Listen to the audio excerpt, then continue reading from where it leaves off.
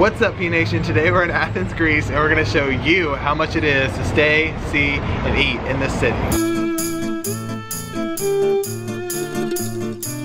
Good morning, it is a beautiful morning in Athens. We are up early to walk to the Parthenon, but first we are trying to find some good street food for cheap.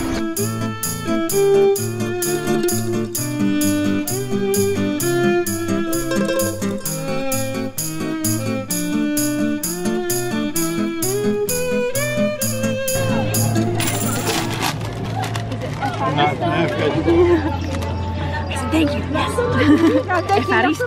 I wish I knew the name of this, but this is just like a very Greek breakfast. And it's just, I think it's just dough that's like cooked and it's got tons of sesame seeds on it. And most Greeks eat it for breakfast, but you can find them all day long.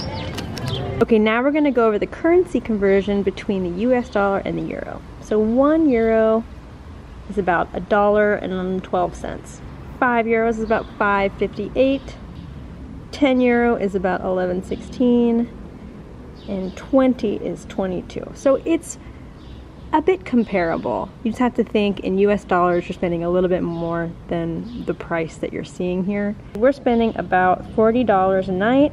That's about 36 euro. So we're staying in Airbnb. Hotels in Greece are very expensive, so Airbnb is the way to go. We were told by a local that it's like, you, if you're here and you're on a budget, you need to go with Airbnb. So we're staying in a nice apartment. It's about $40 a night and it's kind of like not in the best location, but it's in a walkable distance to the Acropolis and all of the fun places that you want to visit while you're here in Athens. We have our own bedroom with a queen size bed. It has a little kitchenette, its own bathroom, its own like entryway, and its own living room with two balconies.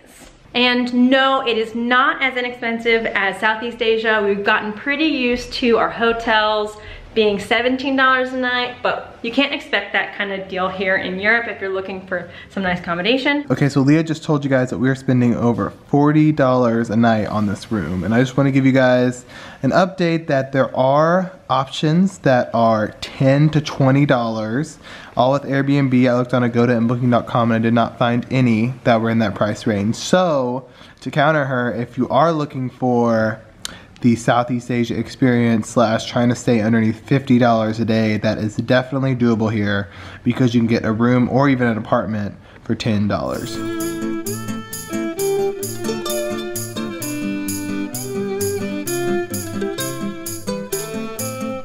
Okay, so now on to transportation. So the subway is probably your easiest bet. Tickets for the subway are 2 euro to 6 euro depending on how far you're going. Buses are a little bit cheaper than that. Taxis will always be 6 euros or more. That's going to be your most expensive option. They don't have Uber here. Well, they do, but Uber is just a form of ordering your taxi and then it will come and pick you up. So that doesn't really help you out. Also, if you're in the city and you're a tourist, you can get a hop-on, hop-off bus that just passed by. It's 16 euros for a whole day and you get to go to all the major tourist sites. Taking the train. Two trips each, 260 I think it was.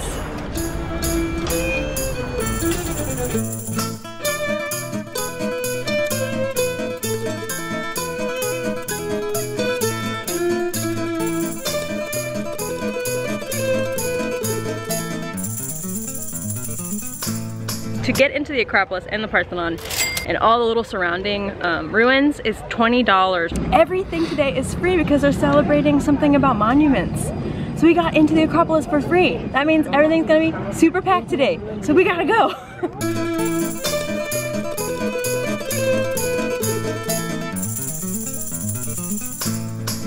so we are here at the Parthenon top of the Acropolis. And as we said before, it is free today, which is miraculous. That's crazy. But it also means there's a ton of people up here. But that's okay, because you know, like you take the good and the bad. So we didn't have to pay. a lot of people up here. If, if, you do come and you do have to pay, you should definitely get here when it opens at 8 o'clock. Yeah. Which we did not. We got here at like 8.45, but still. Someone won't wake up in the morning. But it's okay. I mean, this place is really beautiful. It's ancient, it's crumbling. There's like marble everywhere. I'm just like looking at these pieces of marble and wondering how they even got it up here. Like honestly, how?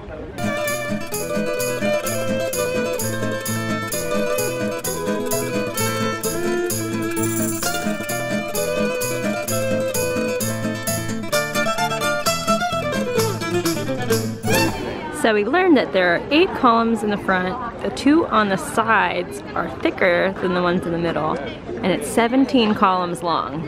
So this is the Temple of Athena, and if we go over here, this is the Temple of Zeus. And they are both built in 400 BC. That is crazy. They're almost 2,500 years old.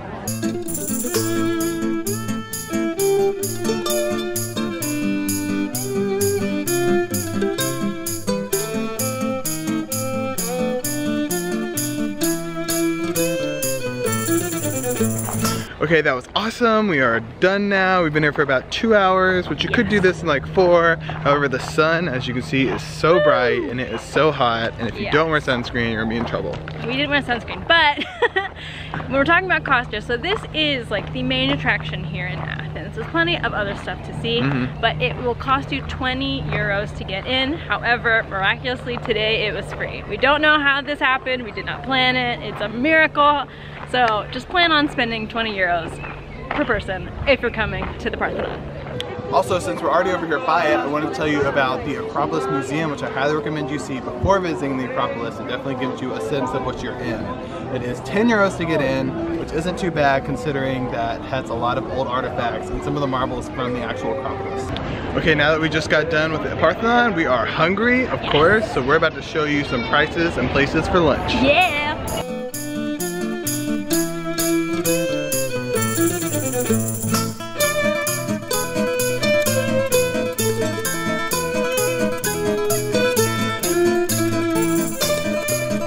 Okay, so we are on the hunt for food. We left the place we're in, what is that called? The Plaka? Because yeah. prices there are ridiculous. Pro tip, when you're in Greece, you should definitely eat your biggest meal at lunch. It tends to be a lot cheaper. Most people eat street food at lunch, which I get, like you want to eat a lighter meal. But to save money on dinner, you just eat street food at dinner and your actual meal at lunch. Yeah.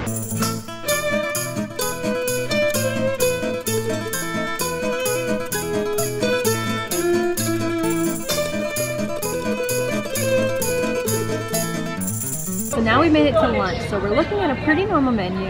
The seating is outside. We've noticed that a lot of places are like eating inside and outside and also like across the street. Like one restaurant has both sides of the street and the menus are big and everything sounds delicious. Okay, so let's open this menu. Greek salad in most places is five to six euros, but other salads are actually cheaper. They just charge more for Greek salads. I don't really know why. Seafood from the Mediterranean is seven to 10 euros. And now we're at the traditional section. So moussaka is 5.60, which is actually a pretty good price for that. Meatballs and tomato sauce is also 5.60. So as you can see, the traditional dishes are cheaper.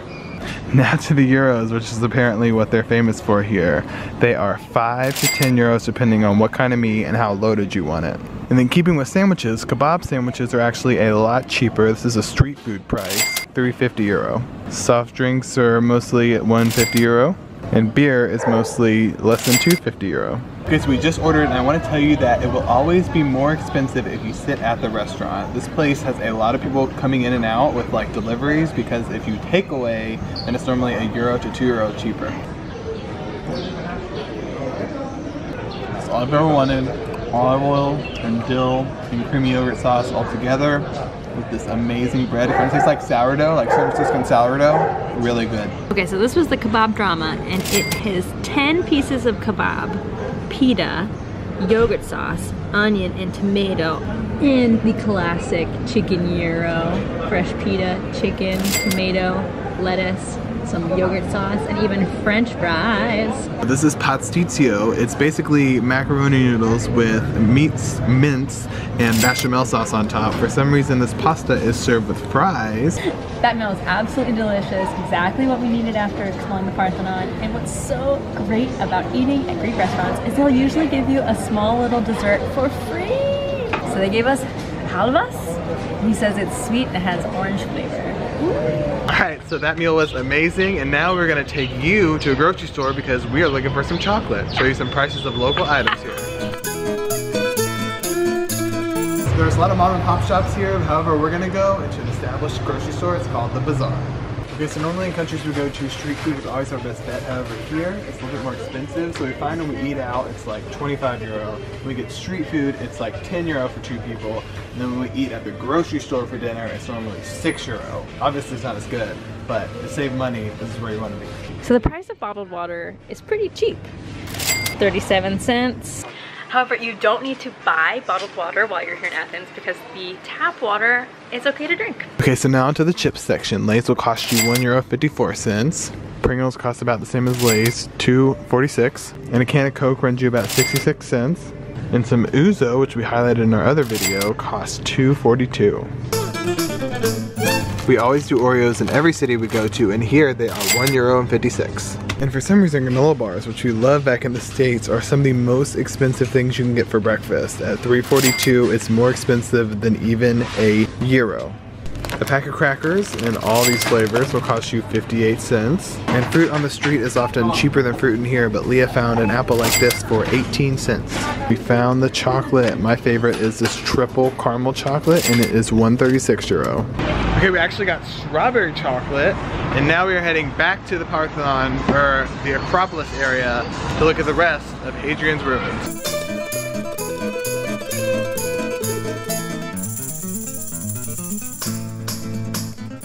Okay, so we just made it here to the first site of the Modern Olympics. They were hosted here in 1896, and this stadium was actually on the grounds of the same stadium that was built before Christ. That is crazy.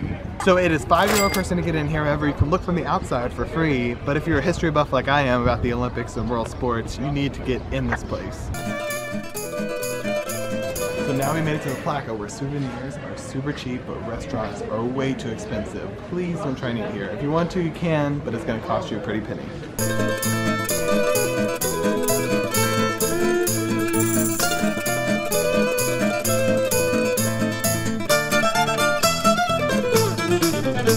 sorry all of this menu is in Greek. However, we're trying to show you that these gyros are all under about three euros. So these gyros are half the price of the ones we had at lunch and they are street food and they are so much better. I don't know how they're so much better, but they're so much better. I think it has more sauce, a little bit more greasy. I don't know, all around it is much better. And now let's get into today's expenses.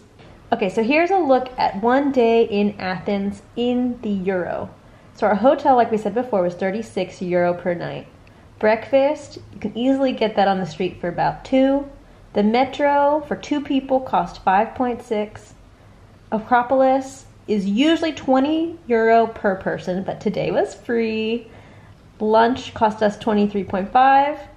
If the Acropolis was not free today, our total cost for this day in Athens would be 128 euro. It's approximately $144. Thank you so, so, so much for watching this video. I hope it helped you figure out how much your trip to Athens would cost. Ruins is $20 or 20 pounds. Euros. 20 euros. okay, so we have made it to lunch. And what we really like is eating out. Doggy. Why? Because being in Greece is really all about relaxing.